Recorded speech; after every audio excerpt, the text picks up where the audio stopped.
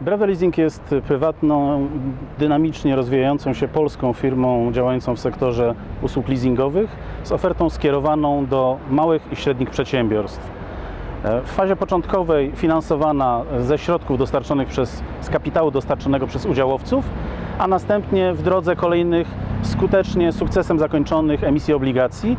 E, Tych emisji do dnia dzisiejszego było 8, z czego 5 zostało e, zamkniętych, spłacony kapitał trafił do obligatariuszy wraz z należnymi im pożytkami. Charakteryzujemy się działającymi specjalistycznymi programami związanymi e, z sektorem medycznym, weterynaryjnym, stomatologicznym. To jest program Medyk. E, Nasz sztandarowy program Startup skierowany do młodych, prężnie działających, myślących e, osób, przedsiębiorstw, które zaczynają dopiero swoją karierę biznesową. Program Artysta. E, Tutaj ofertę swoją kierujemy do wolnych zawodów, do muzyków, oświetleniowców, dźwiękowców, którzy w sektorze, e, w sektorze leasingowym firm bankowych nie mają możliwości e, uzyskania takiego finansowania. Muszę dodać, że Breve Leasing jest jedną z najstarszych i najprężniej działających firm z sektora pozabankowego. Jesteśmy w, w bardzo historycznym momencie dla, dla spółki.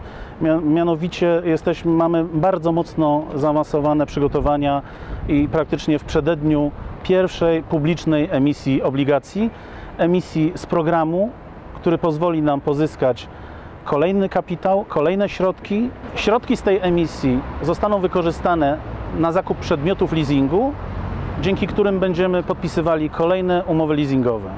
Jestem przedsiębiorcą od stycznia 90 roku.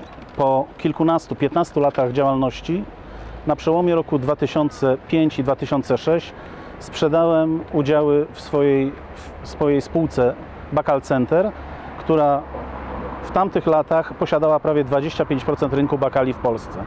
Nabywcą tych udziałów była giełdowa spółka Atlanta Poland.